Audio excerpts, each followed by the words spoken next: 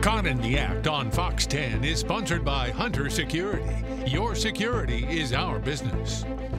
And tonight's surveillance video comes to us from Bayou La Batre, where a boat trailer was riddled with bullets. Now police are asking for your help. Here's our Lee Peck with Caught in the Act. They come and go all day long. Boaters launching at the Bayou La Batre public boat ramp on State Docks Road, parking their vehicles and boat trailers as they launch. While surveillance cameras are rolling from above, there's usually nothing that would be cause for alarm. However, that was not the case on January 22nd, just after 1 p.m. You'll notice this single cab white truck slowly pulling up. It stops for a minute, then slides in along the side of the boat trailer. The driver sticks his arm out the window and begins shooting out the tires of the boat trailer. He then pulls off as another vehicle approaches, but turns around moments later and returns to fire more shots.